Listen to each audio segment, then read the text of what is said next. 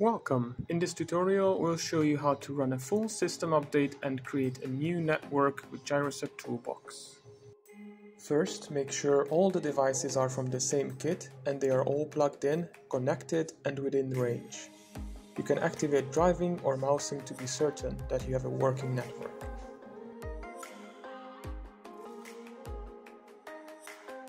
Start the application and see if your dongle appears in the list of available devices. It will be the main device through which the app can communicate with your system. In order to establish Bluetooth connection between devices, you have to pair them. This is no different in the case of your dongle and your phone.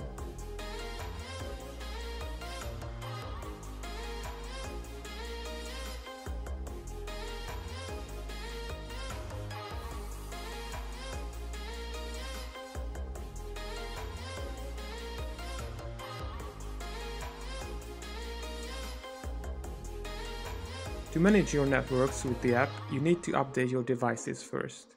Just follow the instructions on the screen. It's best to put your link into service mode at the beginning of the update process by touching and holding the LED light with the GyroSet logo on it. In service mode, the light pulsates in orange.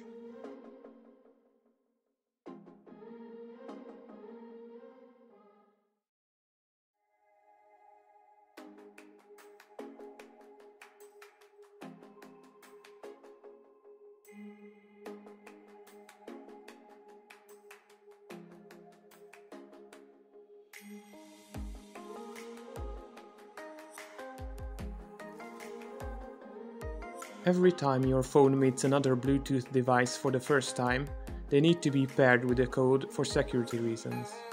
In this case, you need to type in the passkey from the Cubo screen into your phone's input field.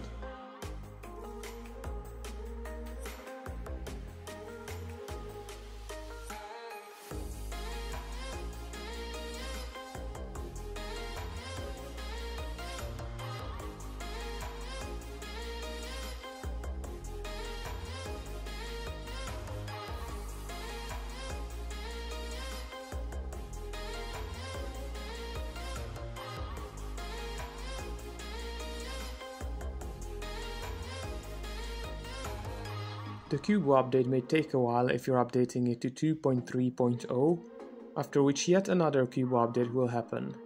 From this version on, all other Cubo updates will be a lot faster.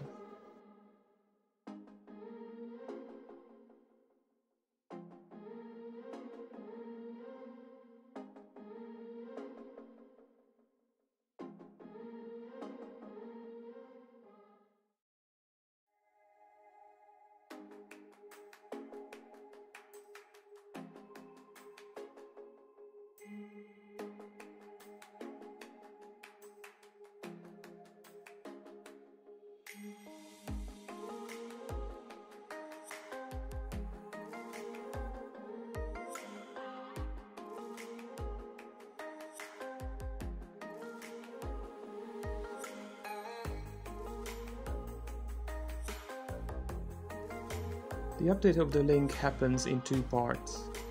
First, the link firmware gets downloaded to the Cubo, which then uploads it onto the link itself.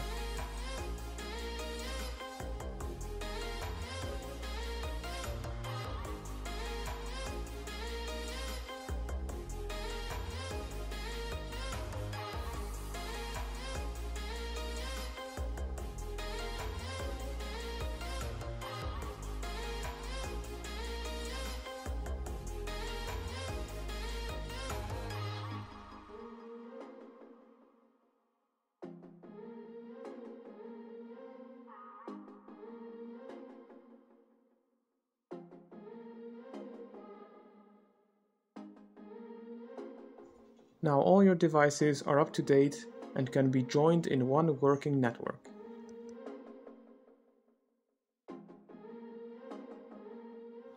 To do that, choose the dongle again from the list.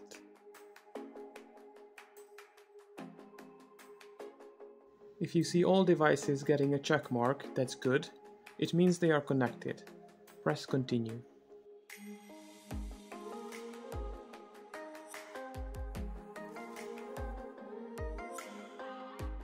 Now name your network.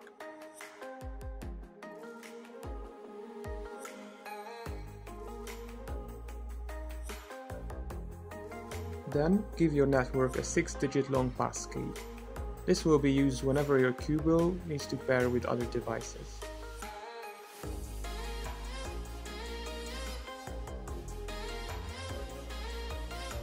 Very important that once everything is set up, your Cubo and your dongle need to be paired too. Your network has been created, now you can keep it up to date and manage it through this app. One last thing, the update process may fail sometimes due to Bluetooth interference.